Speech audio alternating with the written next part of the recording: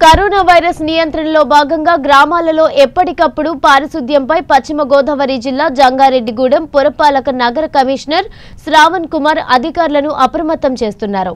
ఇందులో భాగంగా కమిషనర్ వ్యాధి వ్యాప్తి కాకుండా పంచాయతీ డ్రైన్లు శుభ్రం చేయించడం అలాగే బ్లీచింగ్ చల్లించడం హైడ్రోక్లోరైడ్ ద్రావణాన్ని స్ప్రే చేయించారు. ఈ సందర్భంగా ఆయన మాట్లాడుతూ అత్యవసర పరిస్థితుల్లోనే తప్ప అనవసరంగా బయటకు రోడ్లపైకి రావద్దని వచ్చిన ఎడల సోషల్ డిస్టెన్స్ పాటిస్తూ ప్రజలందరూ మాస్కులు ధరించాలని నగర కమిషనర్ తెలిపారు.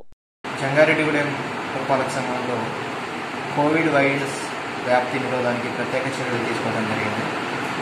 దీనిలో భాగంగా మనము ముఖ్యమైన ప్రాంతాల్లో అన్ని చోట్ల డ్రైనేజీలు శుభ్రం చేయించి సోడియం హైపోక్లోరైడ్ తోటి పిచికార్ చేయించడం జరిగింది.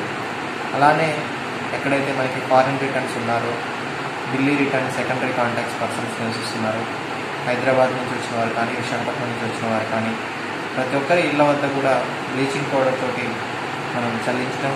అలానే వాళ్ళ పరిసర ప్రాంతాలన్నింటిలో కూడా సోడియం హైపోక్లోరైడ్ ద్వారా స్ప్రేయింగ్ చేయించి ఈ వైరస్ వ్యాప్తి నిరోధానికి తగిన చర్యలు అనేది తీసుకోవడం జరుగుతుంది.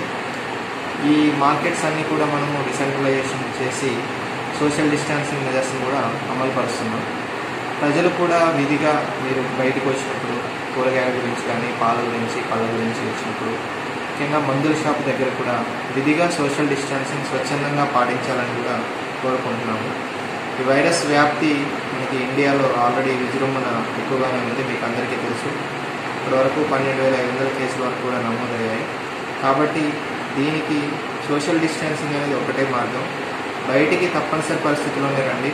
అనవసరంగా రోడ్ల మీద తిరగడానికి రాకుండా ఉండి మీరు ఇంట్లోనే హోమ్ క్వారంటైన్ మెయింటైన్ చేసినట్టయితే మీ ప్రాణాలు అలానే మీ పరిసర ప్రాంత ప్రజలు నివసించే పరిసర ప్రాంత ప్రజలను కాపాడుకోవడానికి అవకాశం ఉంటుందని తెలియజేస్తుంది